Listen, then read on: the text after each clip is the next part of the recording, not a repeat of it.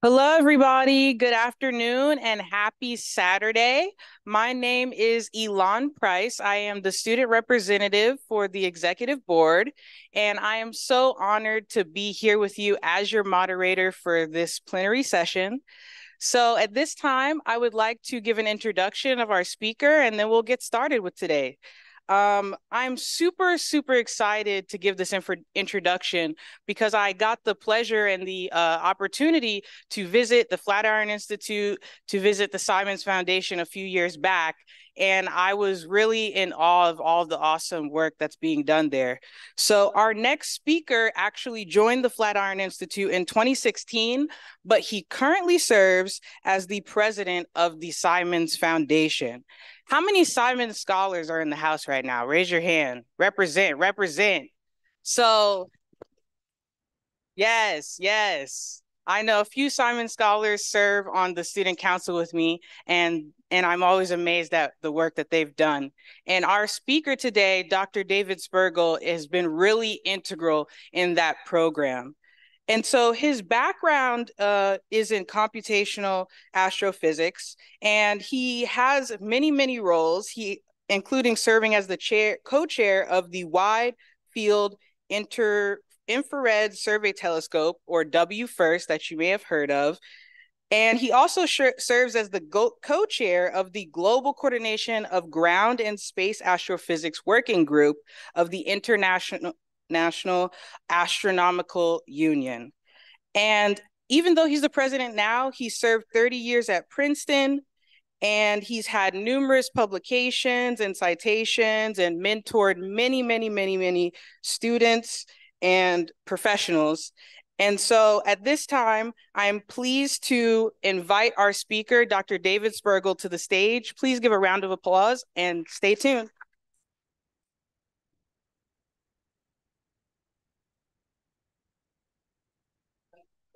Introduction.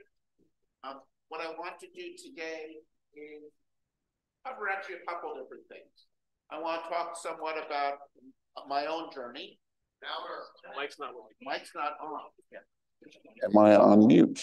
Now my mic's on. Not, you know, like so many things in life, not fully under one's own control. Um, and I want to talk a bit about the journey and what I want to emphasize, and this is really meant particularly for the undergraduates, because I think people who've been at this for a while have definitely know this, that research is not a direct path. It is, you know, sometimes people say it's a marathon, but if you've ever run a marathon, there are people cheering you on all along the way, and you definitely know the path you're supposed to take. It's more like a random run where you have a vague sense you should be going that way, and you spend a lot of time in loops and you make mistakes, and then you, you know, but the journey itself is exciting and interesting, and then you get into an interesting place. And uh, that's what I'm hoping to talk about today. Let's see if we get this slides to advance.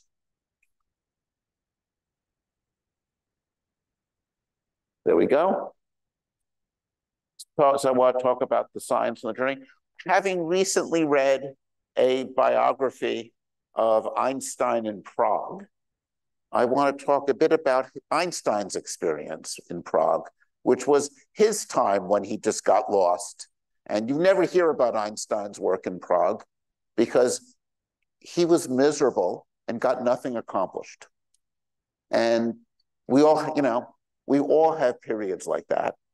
I want to talk about my one of my own detours, um, my own my work on topological defects, which was in its way fun and interesting, but ended up being four or five years that I spent working on a project that really, in the long run, went nowhere. But in the end, helped lead to future work.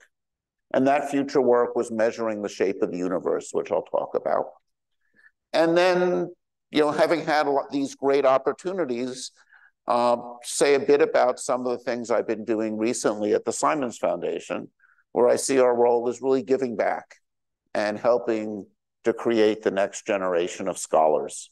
who will do important work and talk about some of the programs and opportunities that we're helping to support. Um, many of which in partnerships with people here who are making these things happen and work.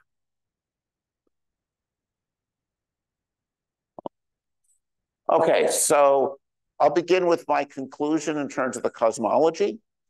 And what we've learned, I think, over the past 30 years is that our universe is remarkably simple, yet remarkably strange.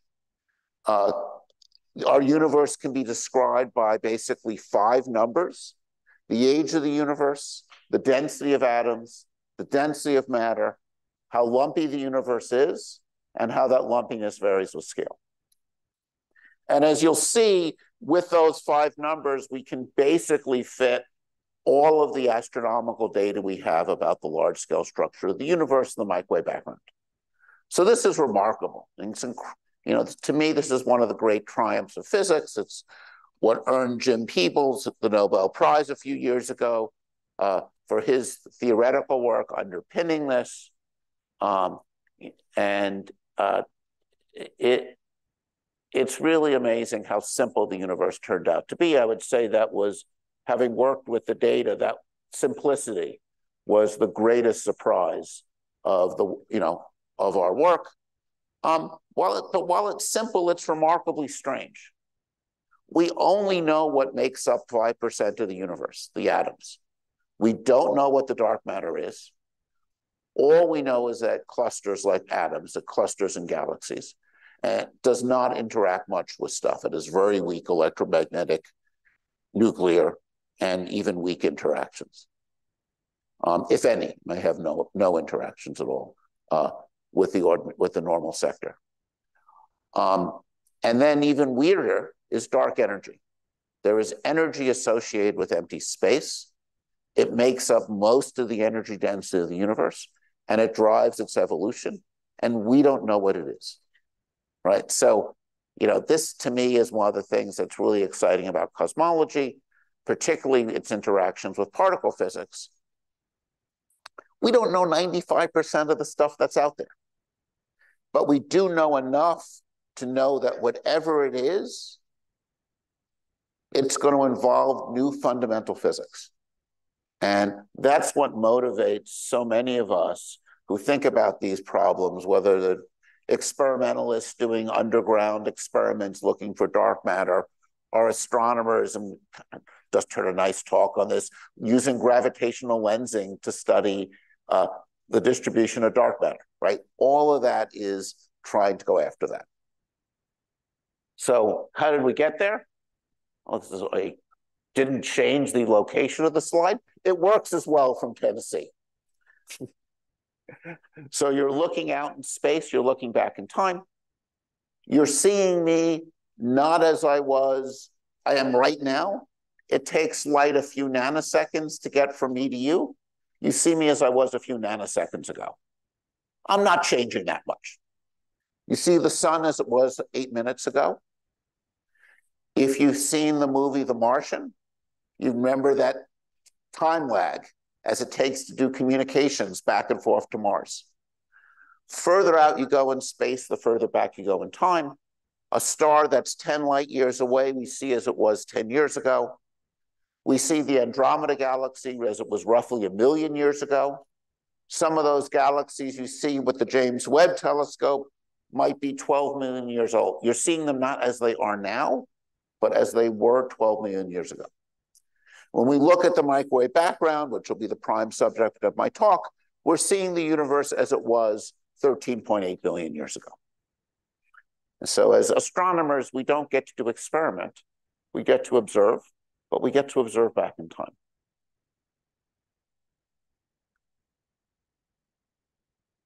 The next key idea is general relativity. As Johnny Wheeler said, general relativity could be summarized in, by two ideas. Matter tells space how to curve, and the curvature of space tells matter and radiation how to move. And um, here's, we'll get, get to Einstein in a moment, but here, that was a moment of Einstein's triumph. And the key thing as a cosmologist that comes out of this theory is the idea that the universe is expanding. And I think this is something that is the conceptually hardest part of the talk for most of us, and as, as you'll see soon, including Einstein, starts out with a Euclidean notion of space and time. And if you hear the idea that the universe is expanding, the first question you come up with is, okay, what is it expanding into? And the answer is, to me, it's expanding into the future. The direction of expansion is in time. And as you expand in into the future, the distances between galaxies grow. So the picture I have of the expanding universe is I, I can't think in four dimensions. I can only think in three dimensions at best. So I suppress one spatial dimension. And imagine us living on the surface of a sphere with each galaxy a point on the sphere. And I think about the universe expanding as that sphere getting bigger and bigger, the distance between galaxies growing. And as you think about that expanding sphere, the radial direction in the sphere, its radius, is basically time. To be more precise, it's the expansion factor, but that's just related to time. So you can think about the universe expanding and expanding, getting less and less dense. That means if you run the universe back in time, take of that sphere collapsing, getting denser and denser, galaxies getting closer and closer, the radiation that fills the universe, the leftover heat from the Big Bang, getting hotter and hotter. As we get denser and denser, hotter and hotter, eventually it collapses to a, a point in time, right? So the sphere collapses altogether, but not a point in space. The Big Bang didn't happen somewhere. It happened everywhere. Everywhere on that surface of the sphere collapses down to a point. And that's the moment of singularity. Next question is what was before the Big Bang? We don't know. We're working on it. That's one of the uh, big open questions in, in cosmology, and I would argue one of the big open questions in physics uh, um, is understanding what happens at those enormous densities and temperatures where we need to employ both quantum mechanics and general relativity to understand what's happening. And it is the frontier in fundamental physics to understand what's going on there. So how, here's the universe getting hotter in time.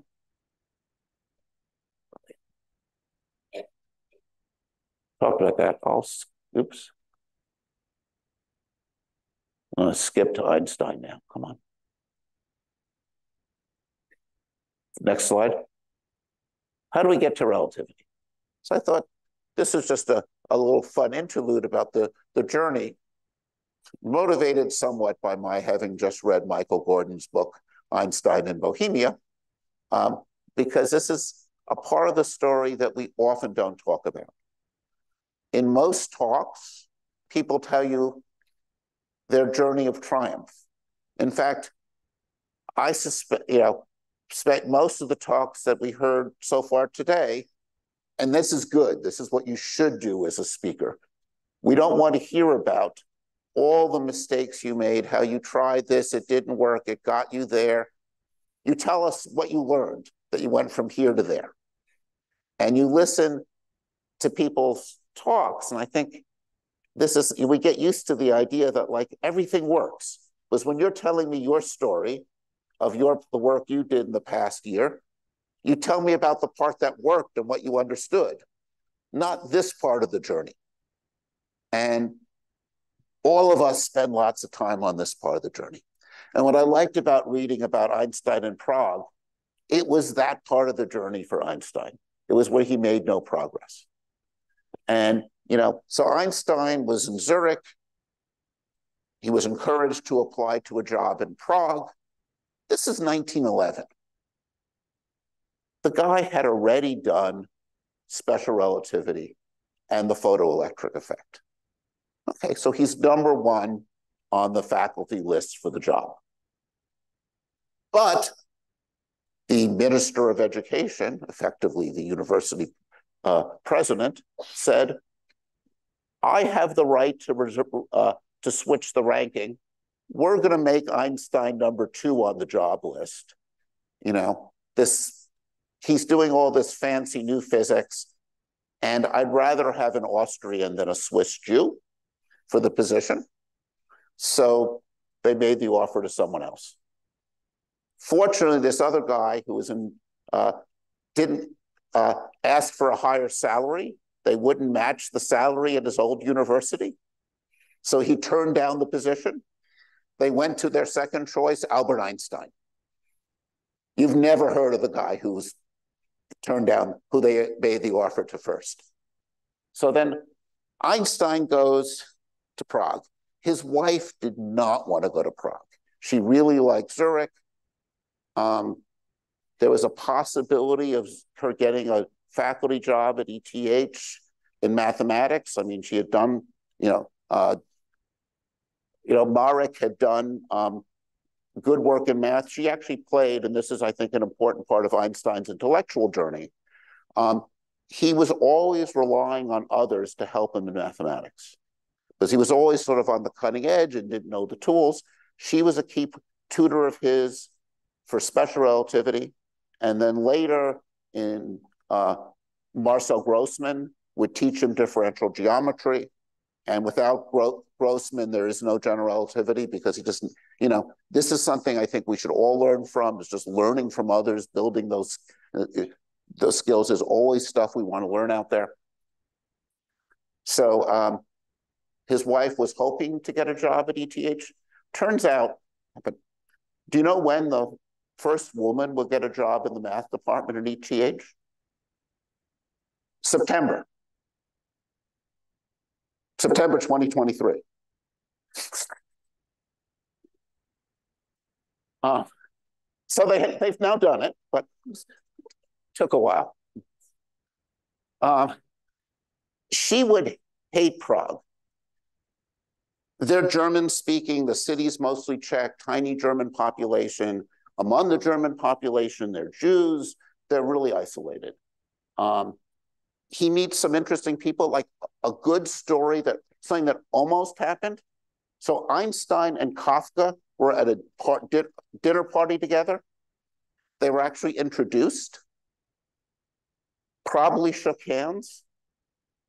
Um, Einstein and a few others went out for drinks afterwards. Kafka didn't join them. They never spoke.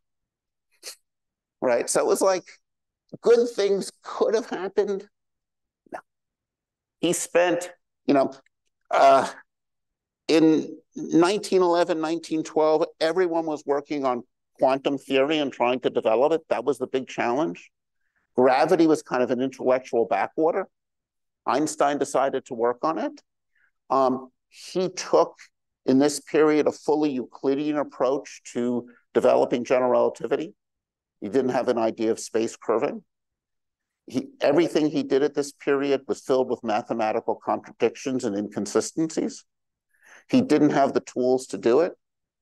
Um, basically, it's not till he returns to Zurich and Grossmann teaches him differential geometry that he's able to start to make progress. So, you know, I, I found this remarkable because, like, I don't know, I, one has this image, you know, Einstein was a incredible physicist, right? But like even Einstein spends time where things don't work or goes in the wrong direction. And, uh, you know, it's, and, you know, and Einstein only makes progress with help from friends. And that's, uh, you know, I, I think a lot of us who've been at this for a while know this, but I think for the young, you know, young people, particularly for the undergrads, that's just the way we're all going to make progress. Okay, here's my own interlude. So when I was an assistant professor, I got really excited with the idea that the universe, remember, it starts out hot, gets cold. It went through a phase transition. Phase transitions are, course, things like water forming ice. And if water forms ice quickly, we all know this from the ice cubes in our freezer, you get defects in the crystals. Crystallization happens quickly, it's imperfect, defects form. Those are those air bubbles, basically, in the crystal. To be more precise, if you've got some field theory and the universe is cooling and the, the if it's the right type of transition, the field will settle quickly and will settle into one place in one position and another place in the other. And you can get these defects, and in these cases called cosmic strings or in higher dimensions, textures. And I spent a lot of time simulating cosmic strings. Here's microwave background maps. We even wrote a Scientific American article about this. And it made, you know, clear predictions on what we should see. And then after working on this for many years, I went to hear the results from COBE, the Cosmic Background Explorer, where they made the first maps, the microwave background fluctuations. And ah, the on switch. That's why I'm a theorist. Um, and when the results came in, it was clear that the signal we predicted was three times larger than what we saw there. And the first time I'm ever quoted, I believe, in the press is I'm quoted saying, We're dead. And basically realized that what I'd spent the previous five years on just was, you know, wasn't done incorrectly. It just wasn't a description of the way our universe worked. And um, this was, you know, 1989. Uh, four years ago, I had a very distinguished astronomer come up to me and say, why did you waste all that time on it? So sometimes people don't really forgive you. But um, I, I think it was actually the right thing to do. You develop a theory, you see what comes out of it. And, but I must admit at the time, I felt pretty depressed about things not working out. What I did next was I said, COBE just came out. I'm going to organize a conference about what COBE means. And I started to email people, and there wasn't any workshops. So I put together a conference and invited people about it. And at it, um, at this meeting, uh, and uh, I like the guy involved. I'll, I'll tell. So my uh, when I was an assistant professor, the guy whose office was next to mine, one of the tenured faculty members, loved to talk, and he would wander into my office and just talk and talk about things like the Olympics. And I was junior faculty, and I was kind of afraid to kick him out of my office. And then at this meeting, he said, this new result proves that the geometry of the universe was flat. And I got annoyed. I said, how do you know that? I said to myself, because no one's properly worked out what happens in the other cases. And, you know, sometimes we get motivated by brilliant visions. I got motivated because I was annoyed. and decided working with Marc Kamionkowski, who was then a postdoc, uh, who had come and we had talked about projects to figure out what would happen to microwave background fluctuations if the geometry was different. And, you know, the in cosmology, the geometry of the universe depends on the density of the universe. If the geometry the density is large, the geometry is positively curved. If the density of the universe is very low, it's negatively curved. And if it's just right, the geometry that we learned in middle school, that the sum of the angles of a triangle is 180 degrees, is valid on the scale of the universe. And uh, geometry matters a lot because in general relativity, geometry is destiny. If the density of the universe is large enough, gravitational potential energy wins over kinetic energy, and the universe is, collapses in a big crunch. The density is low, gravity is unimportant, and that sphere just keeps expanding and expanding, the universe getting lower and lower density, colder and colder. These fates actually inspired Robert Frost to write a poem about some say the world will end in fire, others say in ice. And uh, that was inspired by his learning from Harlow Shapley about the results from general relativity.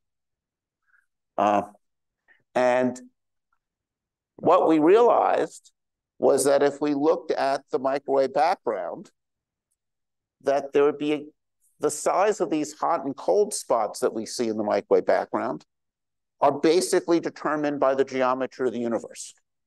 The basic physics is that, you know, when you have a dense region, you create a region of high pressure, it sends out a sound wave. That sound wave moves a characteristic distance in the 380,000 years uh, before electrons and protons combine to make hydrogen and the plasma stops behaving, it stops, is no longer coupled to the photons. So nature is holding out a ruler. And when you have a ruler, the angle depends on the underlying geometry. The angle is smaller if the universe is positively curved. Okay, our traditional 180 degrees in a flat universe. And if it's negatively curved, we would we realize it would predict a smaller angle. And this implied that if we could measure the size of the hot and cold spots, we would be able to measure the geometry of the universe. And that actually uh, led to a conversation where my colleague Lyman Page, who was an experimentalist, um, asked me to join a NASA proposal. And he said, we talked with our experimental colleagues and we decided to invite you in for two reasons. One, we made this clear prediction. And the other was that I was honest enough to say we're dead, which made a big impression on the people from the COBE team, that a theorist was actually willing to admit that the results completely ruled out their model. Now, it wasn't that hard to do because it was really dead. So we worked and then launched, led by a, a team, Dave Wilkinson, who passed away just after we got our first data. NASA let us rename the mission after him. Um, the Wilkinson Microwave Anisotropy Probe. We launched it out to five times the distance the moon and made a detailed map of the microwave background. And this is what the map looks like at all these different frequencies. And my favorite thing to look at the map and I first noticed this when Stephen Hawking was giving a talk. So if you look carefully, there's his initials right there. And that's really in the data. And I was really sitting in the back of the room with his talking about our data with and noticed it for the first time. And um, that mostly shows you that our eyes are really good at finding patterns whether they are statistically significant or not. Um, Stephen Hawking was a great physicist. Uh, his initials are not written on the sky 13.8 billion years ago. So this is just another image, really a more detailed physical construction of what's going on. Remember, I told you we have regions of pressure that gen out, generate out sound waves you can see that the dark matter doesn't move. It generates a deep potential well that generates a cold spot. The electrons, photons, and protons do move out in a sound wave. And this leads to a characteristic pattern when you sum over all those different waves. And that means when I go and I take the, the data that we got, those maps you saw, um, and this is actually work done with more recent data from the Planck satellite. Um, if you stack on a cold spot, you find a hot ring around it. If you stack on a hot spot, you find a cold ring around it.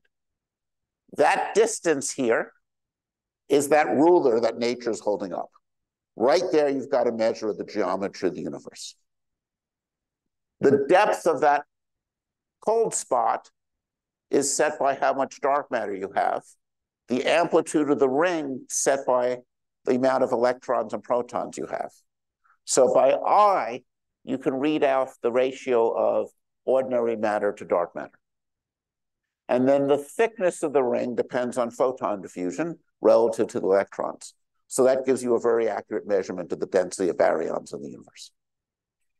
And then the number of hot and cold spots and their amplitude versus scale gives you a measure of um, the amplitude of fluctuations as a function of scale. And that's why when we get to look at these maps, we can and see those sound waves, go back to the maps, those maps have encoded on them the basic parameters of the universe from looking at it, from interpreting those sound waves. And those same sound waves produce patterns in the galaxy fluctuations. You see these sound waves in observations of large scale structure.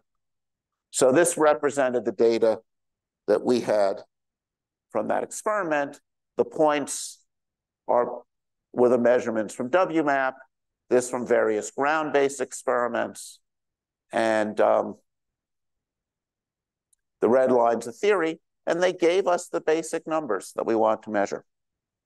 And the progress, not only do we see that, the fluctuations turned out to be remarkably sim simple. The, when we look at the pattern in the maps, they were well characterized by Gaussian initial conditions, that the amplitude of the, those fluctuations are a Gaussian field with no other higher moments.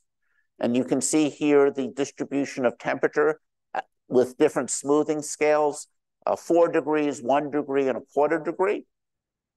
And once you've normalized by the variance, there actually are no free parameters here. It's just plotting a Gaussian versus the histogram. So the early universe turns out to be incredibly simple. Gaussian random fluctuations.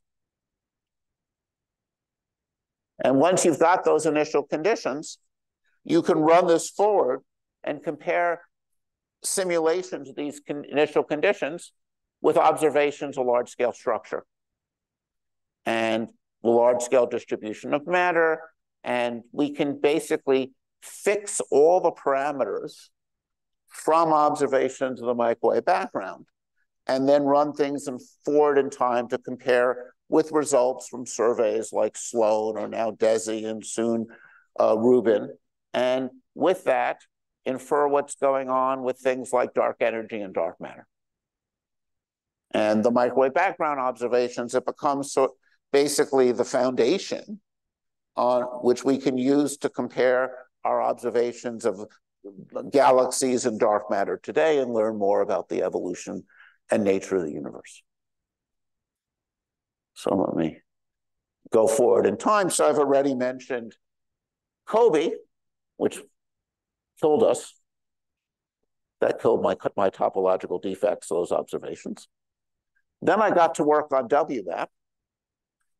And a decade later, the European Space Agency launched Planck.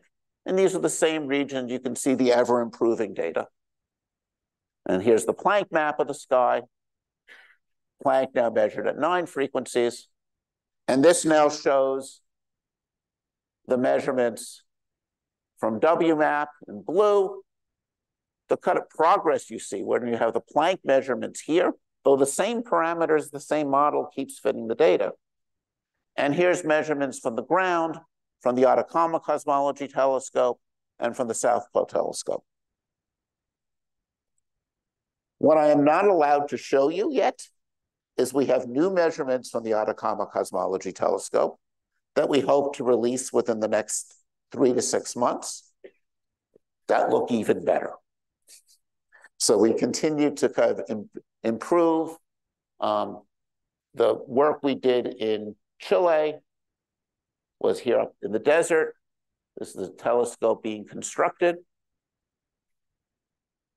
And we can go, with this, this is the same region of the sky observed with Planck, which remember was a big step beyond COBE and WMAP.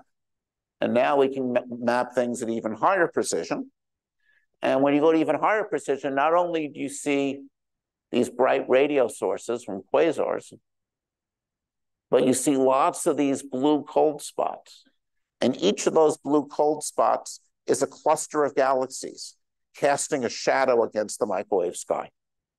And we've now identified um, thousands of clusters in a mass selected sample by the shadows they cast. And through making measurements of things like gravitational lensing, we have measured the integrated distribution of mass, electron pressure, and electron momentum across the universe. And this lets us characterize the growth of structure. So, since I wanted to talk about my journey, having moved on in that journey, and um, I'll tell you uh, a key personal point in this. About 13 years ago, I was diagnosed with cancer. And good story, 13 years ago means treated, completely cured. But it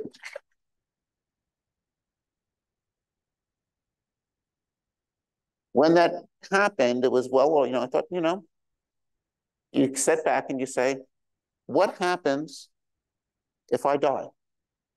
Right? What's going to happen? And like I realized, my two older kids were old enough, they were far enough along, they'd do fine. My younger son would, would really affect his development.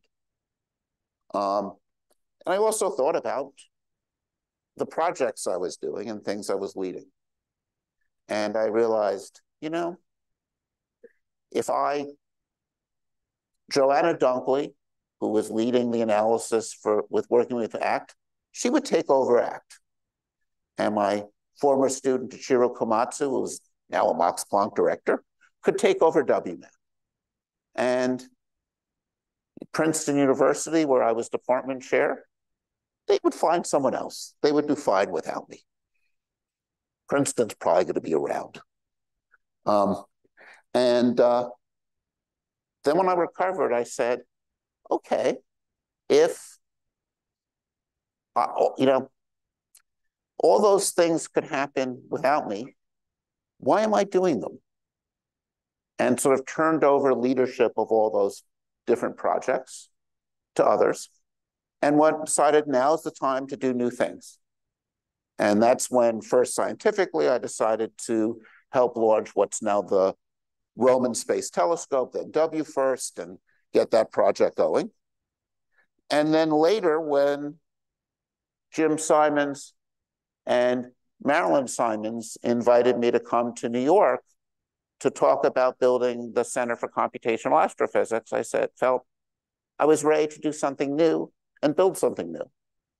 And it was exciting to be part of building the Flatiron Institute and creating something that um, I think some of you have had the pleasure of, you know, coming in and working with us, and it's been great. We want to continue and to, to do that. And um, you know, Sir Rodney Johnson, who's here, came, was the came with me and helped. Uh, you know, we helped build that together and create that. And then um, about two years ago, uh, Jim, well, actually about three years ago, I started two years ago. They asked me before it wasn't start tomorrow. Um, I came into Jim and Marilyn Simon's office and they said that they wanted to step back from running the foundation and would I become a foundation president? And this has been a really exciting adventure. I've basically spent my career as a specialist. You kind of heard, you basically just heard what I did with my career, right? Study cosmology and know a lot about it. And now I'm a generalist. So now I, you know, we support work in neuroscience, we support work in uh, autism, in biology, in mathematics, Uh, we do things from the high school level on up. We have a theater, we have a film program, and I'm now responsible for making decisions in all of them. I like to joke I'm uh, the least informed person in the room on every topic, which is why I get to decide. That's how leadership positions work. Um, you know, but one of the things that's made me think about is like, what are we aiming to do? We're aiming, our role is to support basic science and mathematics. That's our, our mission. And, you know, great science transforms our understanding. And our goal is to provide support to scientists whose, whose work might lead to breakthroughs. And that's why I'm here. That's why we're supporting a lot of the programs that you're involved with, is to help support the next generation of scientists who will lead to those breakthroughs. And, um, you know, one of the things I think about, actually in any project, and this came from my postdoctoral mentor, John Bahcall. John had a sign over his door. It's a quote from Hans Bethe. Only work on projects where you have an unfair advantage. And, you know, I think of this now, not just with people, but of institutions, right? Your University of Tennessee, what's your unfair advantage over most places? Oak Ridge is down the road, right? And that's an amazing place. And that the fact that you're interacting with that puts you in a special position. You know, when we set up Flatiron, I felt one of our unfair advantages was being in New York City. And lots of people like going through New York City. We were close to other institutions, NYU and Princeton and, and Columbia and CUNY and Rutgers, and we would be able, Stony Brook, we'd be able to work with all those places, which we do. Um, and as individuals, if you come, I think often you can get an unfair advantage is if you come into a field knowing things that other people don't know. Uh, having friends who know in other fields who can give you perspectives, bringing in new tools. Uh, you know, uh, if you're sometimes the advantage is one where it's like, all right, you're studying you got interested in studying early galaxies. People before you didn't have James Webb. You get to use James Webb. That means there's a whole bunch of things that you could do that no one before you could do. And recognizing those moments, I think, is really important. So in the foundation, you know, as a foundation, what do we get to do? We get to make some long-term investments. We get to make take some risks we can make mistakes. Um, and uh, we have this emphasis on basic science and math, and we can really work across boundaries. Um, you know, uh, at the moment, an advantage we have um, in you know this terrible Supreme Court decision, we can work around it much more easily than most places because we're a private foundation. So, you know, when you see you can do things like that, you you do them. Um, and, you know, our goal is really supporting transformative science. And uh, I think, as I think about all the things we do, and this is some, gives you some range of things from work on stellarators uh, to some of the student program research programs we support to Quanta Magazine and Sandbox Films where we support, you know, we can take risks and do things and communicate our excitement about science and try to capture the imagination of people out there. And for me, a really important thing for advancing science is building linkages. And I think if you look at um, what we try to do, things whether it's our the collaborations we support or Flatiron Institute, or those of you who are part of our intern summer programs, and I think what's important about a meeting like this is building linkages and connections. And I think you see, a, um, if you look at the kind of history of how science advances, linkages and connections are a really important metric. And, you know, this is something I, uh, encourage all of you to do here, especially people who are here for the first time. It's a chance to build these linkages and connections and build networks and talk to people and learn what's going on in other areas. Another thing we do is a lot of is we try to build tools that enable science. And uh, for this community, perhaps the most important one is we support the arXiv, which has been, I think, an essential communication tool. And then finally turning to you know what we're trying to do with our diversity strategy. And we want to just bring in excellent people to do transformative science. And that's, you know, uh, it, and this is why we're sort of targeting increasing representation from underrepresented groups, because there's just a lot of excellence that we want to bring in and enable people to do great things. And that's that's really what we're striving for in our programs.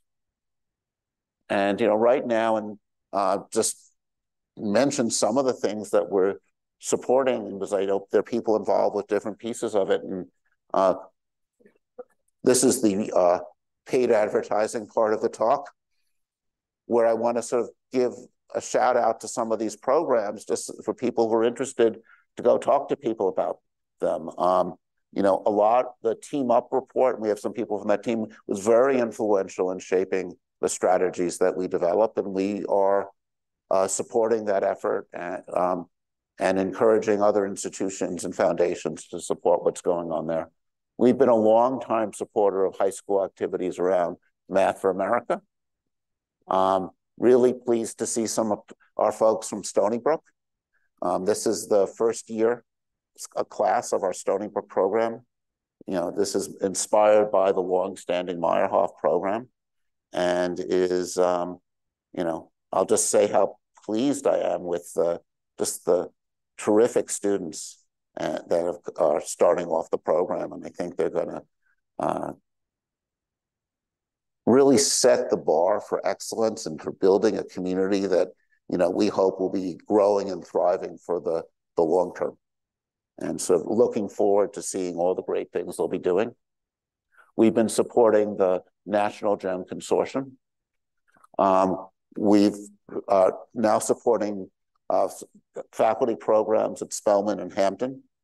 Uh, the Hampton one we just announced. Um, for a while, we now have the uh, the Simons NSBP Scholars Program, and uh, it was a real pleasure getting to sit in the back and hear some talks by and, and see some of our scholars you know, doing really great things and presenting some of the results here. And uh, we're, this is a program that involves doing research both with either with Simons Observatory um, or at the Flatiron Institute, and particularly for uh, students who are, are, well, if you are a junior or if you know people who are juniors and will be rising seniors this coming summer, um, I want to encourage you to apply for this program. And if you're a rising freshman, rising sophomore, or rising junior, we sometimes take you guys too. So also apply. And I think this is a great opportunity to get involved in research. Um, we're supporting the CUNY Masters in Astrophysics program. Um, I am actually a big believer in, in master's programs as a way to give people stronger backgrounds uh, heading into graduate school.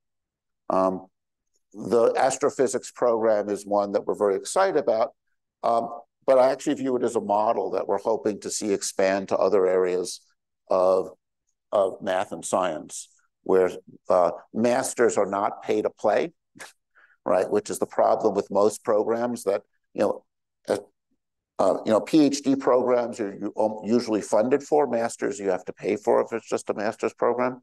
Here we're funding you to go, and you're supported, and you can learn more about that program. And then uh, our supporting of the the team up effort. And these are uh, some of the things we're doing, and I am really excited about these things. And it's been it's great to see some other members of these programs here and kind of looking forward to seeing the great things you're doing and the great things you will do. And uh, as you do them, and this is for all of us, I think uh, uh, what I was what I hope you took away from my talk is both I hope a sense of excitement about some of the science we do in cosmology, but also a sense of what the journey is like sometimes. And that we all, you know, need to be reminded that on the journey of doing science, there's going to be good days, and then there'll be years in Prague.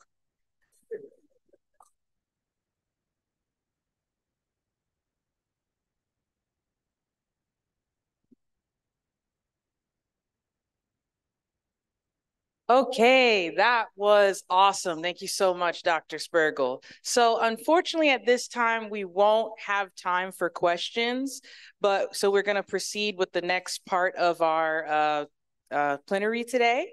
But I just want to say, can we get one more roaring round of applause for Dr. Spergel? That was an awesome talk.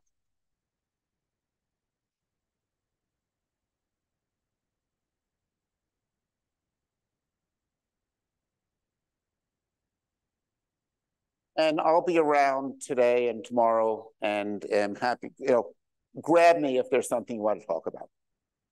So thanks so much.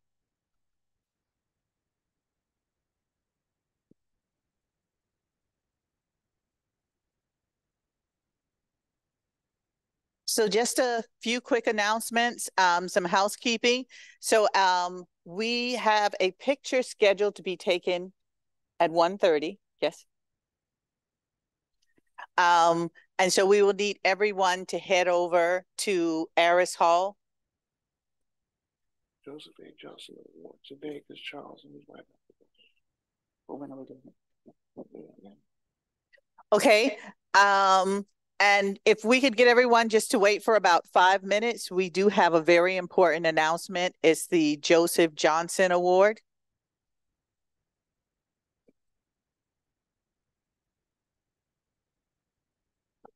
Okay, good afternoon, everyone. So one of the awards that we give out at NSBP in, in combination with the American Institute of Physics is the Joseph A. Johnson uh, Award. And this year's Joseph A. Johnson Award is going to Dr. Charles Brown II.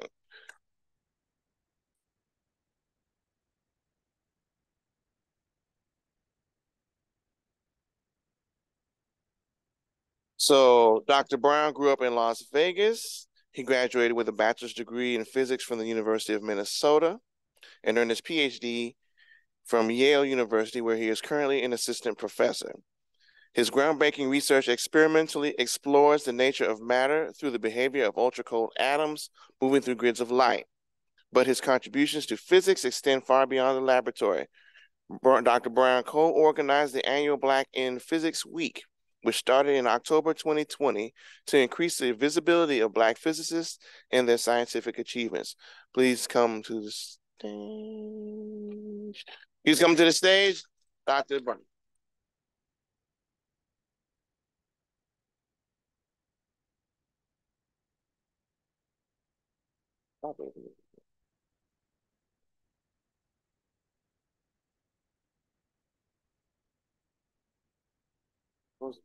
Supposed to be an award. I don't know it is. All right. Everybody.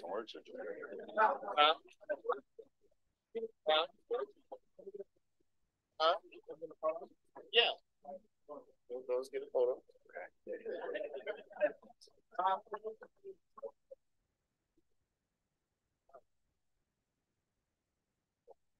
Huh? Oh, you want to say something? Okay. Okay, well, uh. I'll, I'll, I'll try to make it quick. I think it'll be about two minutes. I did write some things, but I don't want to take up too much time. Um. uh, so first, uh, thank you to NSBP and to the American Institute of Physics for the recognition, and of course, since she's here, uh, thank you to my incredible wife, Dr. Linda McMillan Brown. Uh, without whom I could not have accomplished as much as I have. Uh, so let me get into what I wrote. Uh, when a flower doesn't bloom, you fix the environment in which the uh, flower grows, uh, not the flower. This is a quote from Alexander Den, Den Um, as a physicist, part of my life's work will involve solving mysteries that describe how our universe functions in its many capacities. Another part of that work involves engaging the public and you all in a variety of ways. After all, science is a wonderful and cultural human endeavor, which not only affects its practitioners, but also the greater society in which we all live. It's thus important for us as scientists to actively inform and engage the public about our work, particularly in ways that relate to the improvement of everyone's quality of life and the protection of that life, be that an, an, an improvement in one's safety and health, socioeconomic mobility, or in one's sense of belonging to something important through the camaraderie and deep satisfaction of discovery. Uh, in so doing, it's crucial that we ensure everyone willing and able to participate in the human cultural endeavor that is science is offered the opportunities to do so and to actively fight notions that science is for or done only by a select few. I'm almost done. Uh, I'm deeply honored to receive the Joseph A. Johnson Award for Excellence, especially given our shared experiences um, as Yale physics PhD graduates. Professor Johnson was an academic leader who was impactful in scientific research on turbulent plasmas uh, and the lives of students that he mentored and through the organizations that he was instrumental in founding, such as NSBP, the big institute at the ICTP and Trieste. Uh, that his namesake carries an award for excellence is fitting for him. And I'm moved by the idea that I'm carrying on the legacy of an important, uh, historically important physicist like Professor Johnson. So thank you.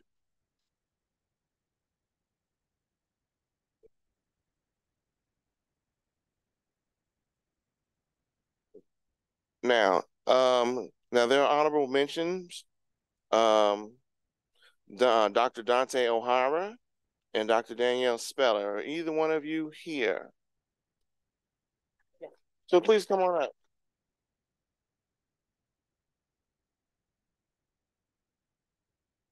No problems when you take your picture and stuff. You don't have to give a speech though, if you don't have one. Yes.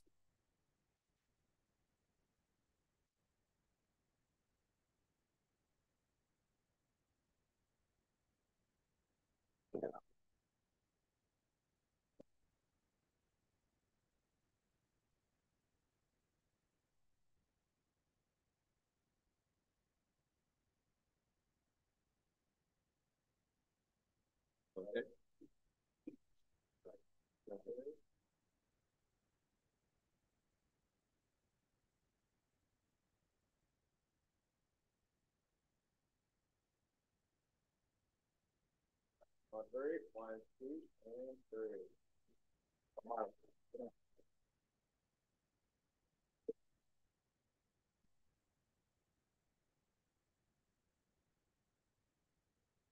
Okay, okay, and some final housekeeping. So at 1.30, we have the NSBP photo, the annual photo. Uh, this will be at Ayres. Yes, yes, but by 1.30. Yes, okay, immediately after this session. Willie wants everyone to get over there now. So those of you who can walk, um, if you go past the information desk and continue outside the building, there's Ayres Hall.